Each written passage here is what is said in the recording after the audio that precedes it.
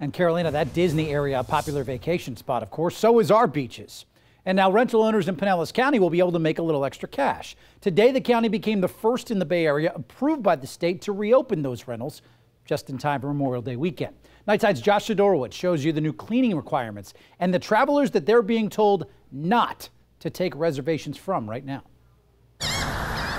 I'll tell you, it's been a challenge. For two months, Dennis Dottino's vacation rentals, like every other in our area, have sat vacant. Oh, it's tremendous. In the first uh, the first 30 days, we lost a half a million dollars. So it is a relief to know short-term rentals can now reopen in Pinellas County. I'm feeling top. I, it's the best thing that's that's happened in a long time. This six-page plan approved Wednesday by the state lists more than two dozen precautions property managers must now take, like having extra time between stays to deep clean, making sure masks are worn by staff, and has this for interesting, requiring that travelers from designated hotspots like New York can only book if they self-quarantine when they get here. Dottino's staff is also hanging signs like this after each unit is cleaned. All part, he says, of changes they have been preparing for during the downtime. So it's it's all in preparing to take care of the property and to take care of the buildings and then to take care of the people.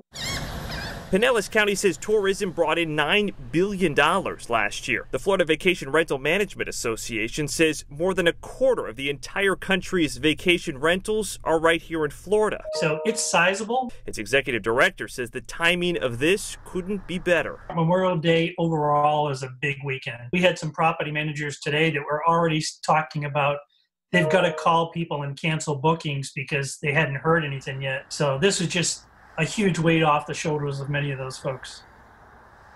And a huge win for Pinellas County. So which counties are cleared to take those rental reservations? Airbnb and Vrbo included, by the way. Here's a map, and you can see a bunch of them are in the panhandle as well as along our coast. They're good to go as well. Now, if you are planning to take a trip, we've got this posted right now on our 10 Tampa Bay Facebook page, along with a link to the case numbers in each county so you can make sure that you take that trip safely.